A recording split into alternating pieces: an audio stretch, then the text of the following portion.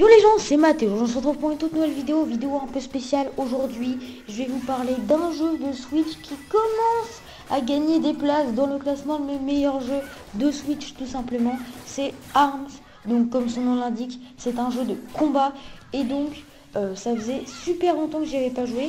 Euh, je l'avais déjà vu, j'avais déjà joué un peu, mais ça ça m'avait pas trop plu, etc.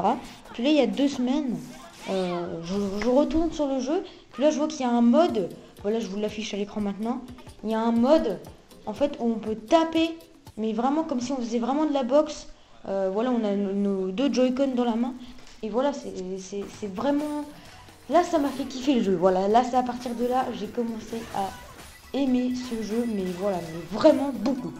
Donc aujourd'hui, on se retrouve, je vais vous montrer un peu la base du jeu. Je vais vous montrer aussi de quoi je suis capable en seulement une, une deux semaines de jeu.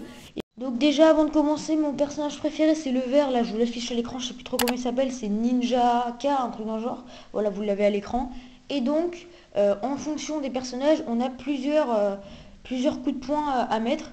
Du coup, sur la main gauche, on a le choix entre trois armes. Sur la main droite, c'est les mêmes armes. Mais voilà, il faut en choisir qu'une par moi. directement passer à mes meilleurs coups, mes meilleurs euh, KO sur ce jeu qui, pour l'instant, me plaît énormément.